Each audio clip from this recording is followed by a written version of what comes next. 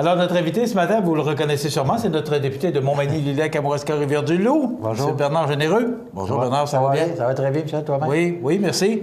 Bernard, on a différents sujets, alors euh, allons-y euh, tout de suite. Oui. D'abord, tournée des entreprises. Oui. Ça, ça va avoir lieu, on en a parlé la semaine passée, puis ça va avoir lieu euh, vers la fin de février. Fin février, juste- tout le mois de mars, en fait, ben, tout le mois de mars. Tout le mois de mars, ou les semaines où je vais être dans le comté. Parce qu'il faut savoir qu'au mois de mars, euh, contrairement à d'habitude où on fait deux semaines à Ottawa, une semaine dans le comté, deux semaines à Ottawa, là, on va être une semaine à Ottawa, une semaine dans le comté, une semaine à Ottawa. Donc, je vais être. Ah, à- Expliquez-nous exactement qu'est-ce que vous avez l'intention de faire. Essentiellement, ce que je voulais. Puis l'objectif, là, ça remonte à, même à l'élection où j'avais dit que la- le manque de main-d'œuvre était une priorité, était quelque chose de très, très important à s'occuper. Et euh, c'était une priorité pour moi. Donc, on, on- a formé un comité dans lequel il y a des entreprises, des organismes de développement sur tout le territoire, de développement de l'emploi. Ici, LCLD, à Rivière-du-Loup, la même chose. Au Kamouraska, c'est promotion au Kamouraska. Et euh, on, a, réfléchi sur qu'est-ce qu'on pourrait faire. Parce que je ne sais pas si vous vous souvenez, mon idée, c'était d'aller à Montréal, faire un salon avec les gens puis les entreprises à Montréal. Sauf que la réalité, c'est que Annie et Mireille sont allés à Montréal euh, dans les salons euh, l'automne dernier. Et on s'est rendu compte qu'il y a déjà, il existe déjà des salons. D'ailleurs, il y en a dans la région de Québec. Et euh, on s'est dit, au lieu de faire ça, on va essayer de faire la promotion de nos entreprises et des emplois qui sont disponibles. Alors, le, but de la tournée, c'est de faire la promotion des emplois disponibles. Alors, je vais, je vais je vais m'improviser euh, soudeur ou transformateur d'aliments ou serveur dans un restaurant ou etc. Donc, je vais prendre le poste qui est disponible dans l'entreprise, puis je vais, on, va, faire des vidéos, qu'on va aussi euh, faire la promotion sur les médias sociaux.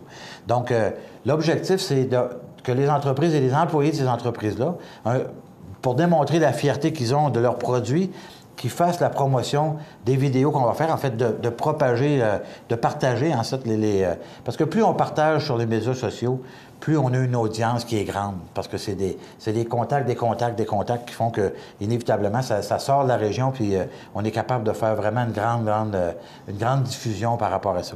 Donc, de faire la promotion des emplois disponibles, de faire la promotion des entreprises, bien évidemment, mais de faire aussi la, la- la- la- la promotion de la fierté puis des- de la qualité des produits qu'on fait en région. Donc, c'est un peu le but de cette tournée-là. Mais le choix des entreprises, Bernard, va se faire comment? Écoute, on a déjà 30 entreprises qui ont communiqué avec nous ou qu'on a communiqué avec eux à venir jusqu'à maintenant. On a déjà 30 de, de cédulés pour le mois de mars. On espère monter à 50 ou 60. Donc, on va aller dans toutes sortes d'entreprises par ailleurs. hein. On va aller sur tout le territoire, autant euh, sur- dans, les, dans les terres en haut, sur le bord du fleuve, partout, partout. Puis On parle du comté, là. On parle du comté, oui, oui, on parle du comté. Écoute, je assez grande même. là. Il y en a beaucoup d'entreprises. euh, il y en a beaucoup d'entreprises. Puis on va faire. euh, c'est dans, autant dans les petites, des moyennes. J'ai des dépanneurs là, où je vais aller parce qu'il y, a des- il y a des besoins d'emploi, des besoins de recherche de personnel. C'est pas nécessairement dans le secteur manufacturier. La, la réalité, non, pas du tout. Puis la réalité, là, c'est qu'on a, on est en compétition contre toutes sortes de régions, même la région de Québec actuellement. J'ai écouté un reportage, là. Ils sont en pénurie d'emploi, pas d'employés. Les, gens, les entreprises ne savent plus quoi faire. là. Ça devient un- vraiment un problème sérieux. Là. Puis si on veut continuer à développer nos entreprises, continuer à développer la qualité de vie qu'on a, garder nos acquis particulièrement, dans certains cas, c'est juste la conservation des acquis. Là. On ne parle pas de développer d'autres choses. Là. Donc, ça prend des gens pour travailler dans nos entreprises. Euh, justement, par rapport à- euh, aux réseaux sociaux, parce que vous êtes très présent sur les réseaux Oui. sociaux, il y a du travail à faire dans la région. On en Ah, un énormément, peu, là, parce énormément. qu'on On- donne, on, on donne une formation, nous, euh, cette semaine. Mais il y a du travail à faire parce que euh, Internet, euh, les sites Web, les réseaux sociaux, les entreprises, beaucoup d'entreprises ne sont pas encore... Encore sur le web. Mais en fait, ils la sont pas sur le web. Puis je vous dirais qu'aujourd'hui, je dirais presque que c'est plus impo- parce que le site web, c'est un site, c'est devenu des sites informatifs. C'est-à-dire, tu vas aller chercher l'information par rapport à l'entreprise, qu'est-ce qu'ils font, etc. Mais la, réalité, c'est qu'il faut être quotidiennement actif sur les réseaux sociaux pour attirer l'attention sur nous.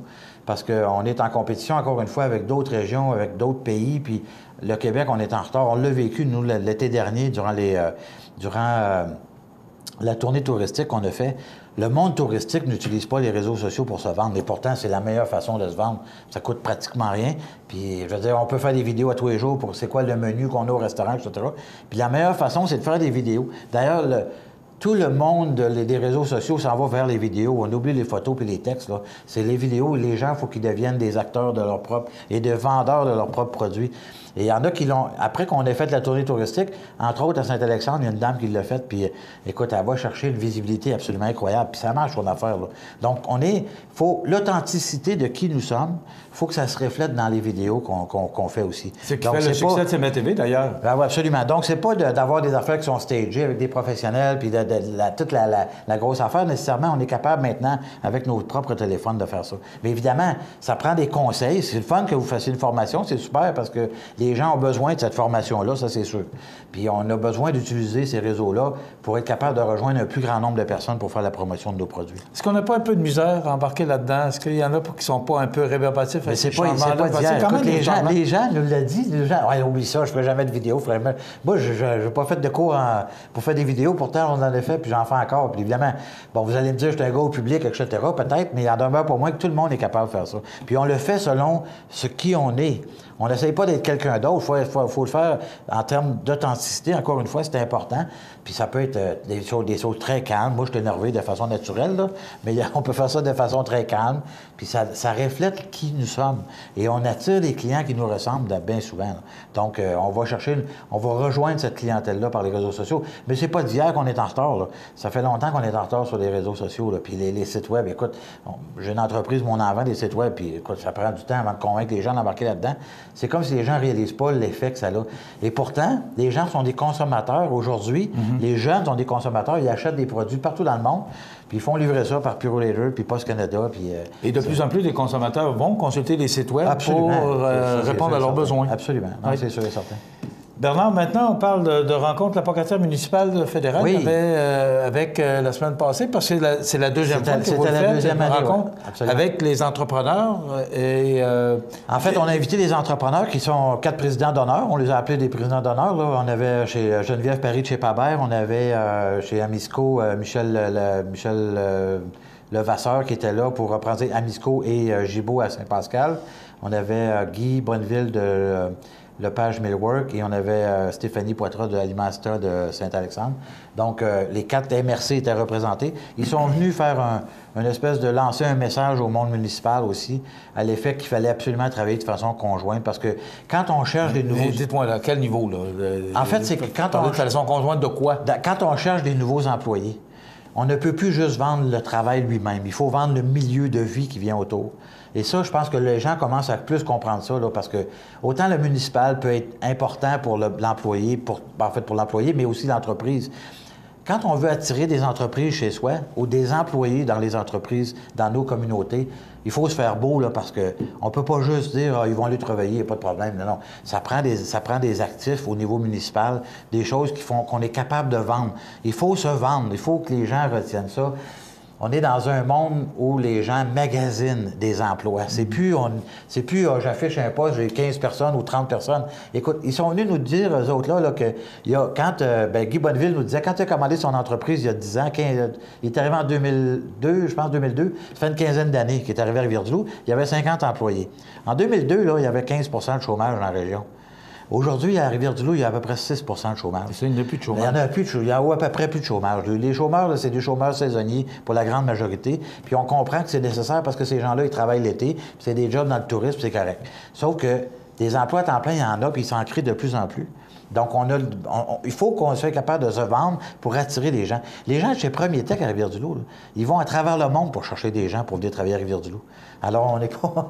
On est, quand je dis qu'on est en compétition, on n'est pas seulement en compétition les uns contre les autres, dans un même marché qui est la région de Montmagny, les lacs Kamouraska, Rivière-du-Loup. On est, on est contre Québec, on est contre Lévis, on est contre Bellechasse, on est, on est contre Rimouski. C'est ça, parce qu'il y a des besoins ailleurs, puis chacun veut tirer sur sa couverture. C'est pas juste euh, dans, pas juste dans, dans mon comté qu'on vit ça. La baisse démographique, et le vieillissement de la population, ça a des impacts quotidiens sur, nos, sur les entreprises. Donc, il faut se vendre. Donc, les gens sont venus partager ça. ensuite, et, la suite de ça? Et la suite de ça, bien, écoutez, on va. Ben, ben, c'est la tournée, entre autres, qui fait que ces gens-là sont impliqués dans la tournée. moi, ce que je souhaite, c'est vraiment qu'on crée un buzz. Là. Euh, il faut vraiment que tout le monde embarque. Puis, si tout le monde embarque, là, c'est des millions de personnes qui pourraient voir les vidéos. Ça fait qu'on travaille vraiment là-dessus. On va travailler très, très fort pour vraiment faire la promotion de cette tournée-là, puis de, de l'ensemble des choses qu'on va faire à l'intérieur de la tournée. Bernard, on va s'arrêter quelques instants et on va revenir. Euh, on a encore un, cinq minutes à jaser avec notre député. Alors, on, on fait une pause et on revient tout de suite après avec Bernard Généreux, notre invité. Alors, je vous rappelle que notre invité ce matin, c'est M. Bernard Généreux, député fédéral dans Montmagny, Liliac, Kamouraska, Rivière-du-Loup. C'est pas pire. C'est bien ça. C'est bien. Michel, pendant que tu étais arrêté, je trouve que tu as une belle couleur de chemise. Oui, hein, c'est beau ce bleu-là, mais, mais une belle cravate rouge. oui, oui, c'est la couleur drapeau Le rouge me va bien, hein? C'est la Oui, c'est ça. Bernard, euh, on parle d'emploi d'été. Euh, les inscriptions sont euh, comptées du 3 février. Oui. En fait, non, c'est que la, date, la date, la date pour remettre les demandes pour avoir des emplois d'été dans, son, dans ses entreprises, dans ses organismes non lucratifs ou dans les municipalités était le 21 janvier. Mais c'est quoi le programme exactement? C'est le programme des emplois d'été du Canada. Donc, dans notre comté, si l'année passée, je ne me souviens plus le nombre exact, mais il y a eu euh, plus que 100 emplois d'été qui ont été comblés par des jeunes. Donc, c'est pour les emplois pour les, étudiants. Donc, autant du secondaire, du, euh, secondaire et de cégep université. Donc, euh, puis euh, la date a été repoussée au 3 février. Alors, les gens qui n'ont pas encore déposé leur demande, s'ils avaient l'intention de le faire, je comprends qu'on a travaillé très, très fort, nous, avec beaucoup, beaucoup d'organisations, parce qu'on a avisé, en plus, on a envoyé un email à tout le monde pour les aviser que le programme était en place puis qu'il y avait jusqu'à telle date. La, majorité des gens ont eu le temps de répondre avant, mais ça peut arriver qu'il y ait des gens qui, peut-être, qui euh, ont dit « Ah, mais je suis trop tard, j'aurai pas le temps ». Ben là, ils ont jusqu'au 3 février pour le faire. OK. Maintenant, euh, l'arrivée de Donald Trump à la présidence des États-Unis, ça fait peur à bien du monde. Euh, on entend parler qu'il veut ouvrir l'entente, la LENA. Euh, nous, particulièrement, c'est le bois d'œuvre. Est-ce que euh, vous êtes inquiet, Bernard, par rapport à l'élection et l'arrivée de, Donald Trump? Euh? il, y a, une certaine source d'inquiétude, c'est sûr. Ça va dépendre aussi comment, comment le gouvernement actuel va se tenir debout par rapport à ça. Je pense que dans toute négociation, il y a des choses à aller gagner. Puis, bon, nous, on a déjà des acquis. On espère conserver les acquis que nous avons. On, on veut signer une nouvelle entente sur le bois d'œuvre à la lumière des, propos qu'on a entendus, pas plus tard qu'encore hier soir, je l'ai vu à la télévision, là, il a fait sa campagne là-dessus. Là. Il veut réouvrir l'ensemble des ententes commerciales qu'il y a avec les, tous les partenaires à travers le monde. La première va être NAFTA avec, euh, l'Amérique du Nord. Donc, on va voir ce que ça va donner, mais il y a, effectivement un risque. C'est un homme d'affaires, ça. Hein. C'est un homme qui, a, qui est sans merci. Il faut le dire comme ça. C'est un homme qui est très dur en affaires. Et euh, moi, j'ai lu des articles à son sujet, puis euh, c'est assez incroyable comment il négocie. Donc, euh, j'ai hâte de voir comment M. Trudeau va se comporter par rapport à ça. Mais je pense qu'il faut tenir notre bout parce que on est le plus grand partenaire mondial entre deux, deux États ou deux, euh, deux, pays. Mais ils seraient perdants. Les États-Unis aussi seraient perdants parce qu'il y a quand même... Particulièrement les 35 États qui sont...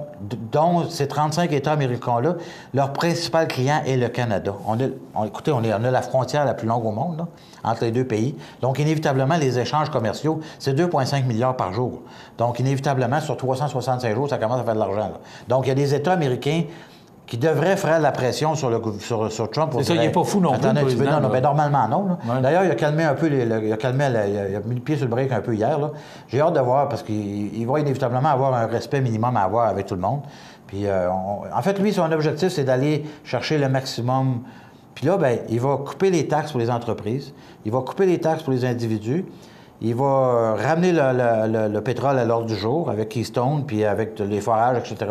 Il veut même ramener le charbon il, va devenir, il va redonner aux États-Unis potentiellement une compétitivité que nous, on n'aura pas au Canada. C'est ça le danger. Parce que là, le gouvernement Trudeau est en train de mettre des taxes sur tout, là.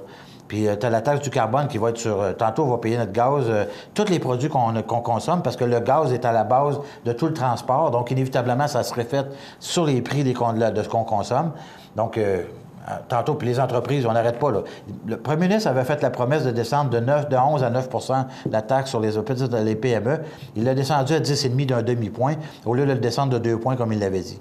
Puis il n'a pas envie de revenir sur cette promesse-là. Donc, encore une fois, on ne sera pas compétitif tantôt. Fait que les, moi, je te dis, le risque, il est là, là. Le risque, il est que euh, M. Trudeau veut sauver la planète. C'est bien gentil, c'est bien le fun, là. Sauf que la réalité, c'est que tout ça, le voisin qui est dix fois plus gros que nous autres ne le fait pas, là. Pendant que la Chine, ils, produisent 30% des, gaz à effet de serre, puis qu'ils font absolument rien, puis qu'il n'y a rien qui est prévu qu'ils fassent avant 2030. En tout cas, moi, je commence, sincèrement, je me, me pose des questions. Il reste 30 secondes. Oui. Euh, le débat la semaine dernière. Oui. euh, 13, parce que là, il y en a 14 maintenant, mais il y avait 13 candidats Oui, qui étaient là pour débattre pour la course à la chefferie du Parti conservateur. Vous en pensez quoi? En fait, été un très bon débat. J'étais sur place. On était une quinzaine du comté ici qui sont montés avec moi. Euh, C'était un très bon débat. Ce qu'il faut retenir, c'est que, bon, évidemment, il y avait un ou deux qui ne parlaient pas très bien français, mais la majorité d'entre eux font des efforts incroyables pour parler français. Et c'est ça qu'il faut reconna- reconnaître, contrairement à ce qui s'est dit dans les médias, parce qu'on n'a pas massacré la langue française. Bien au contraire, quand quelqu'un fait un effort pour faire quelque chose, il faut au moins lui reconnaître. Puis ça n'a même pas été reconnu d'aucune façon. Et vous continuez à ne pas appuyer pour l'instant aucun Moi, je vais, je vais demeurer neutre. J'ai décidé que j'allais demeurer neutre parce que je suis président du caucus et pour gérer mon caucus, je pense que la neutralité, c'est la meilleure chose. Bernard Généreux, merci beaucoup. Merci beaucoup. Député de. Montmagny, Kamouraska, Rivière-du-Loup. On se revoit au mois de février. Alors voilà, ça complète. Merci.